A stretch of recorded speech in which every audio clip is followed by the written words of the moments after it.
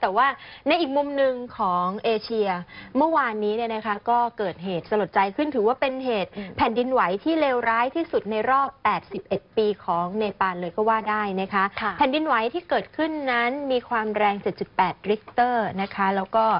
ส่งผลให้มีผู้เสียชีวิตอย่างน้อย 1,457 คนในเนปาล อินเดียเสียชีวิตอย่างน้อย 52 คน ส่วนทิเบตก็ 12 คน อีก 2 คนในบังคลาเทศนะคะค่ะเหตุการณ์ครั้งนี้เกิดขึ้นระหว่างกรุงกาดมันดุนครหลวงของเนปาลกับเมืองโปคาราเมืองใหญ่ที่สุดอันดับสองของเนปาลค่ะ เพราะฉะนั้น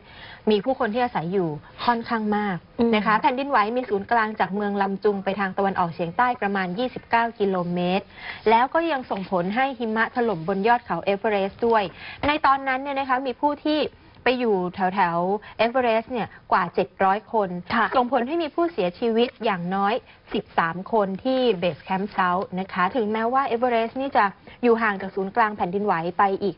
220 กิโลเมตร ก็ยังถูกผลกระทบนะคะอืมส่วนความเสียหายในเมืองใกล้กับจุดศูนย์กลางเนี่ยนะคะ อาคารหลายหลังในกรุงกาฐมาณฑุ รวมถึงหอธาราหารา หอสูง 9 ชั้น ที่ถูกขึ้นทะเบียนเป็นมรดกโลกเนี่ยนะคะก็พังทลายลงมา เกรงกันว่าจะมีคนจำนวนมากที่ติดอยู่ใต้ซากของหอนี้ด้วยนะคะค่ะ หลังจากนั้นก็ยังมี after shock รุนแรง ตามมาอีกกว่า 16 ครั้งนะคะ ลึกลงไปในผืนดินประมาณ